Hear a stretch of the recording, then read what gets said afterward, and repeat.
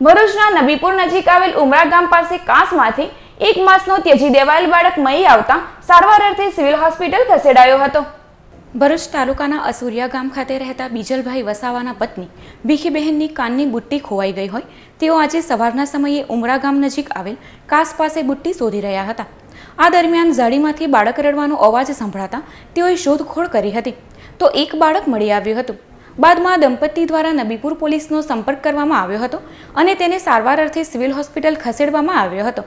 જ્યાં તબીબોએ બાળકની તપાસ કરી તેને જરૂરી સારવાર આપી હતી. આ બાળક એક માસનું હોવાનું જાણવા મળ્યું છે અને કોઈ નિષ્ઠુર જનિતાએ તેને ત્યજી દીધું હોવાનું અનુમાન લગાડવામાં આવી રહ્યું છે.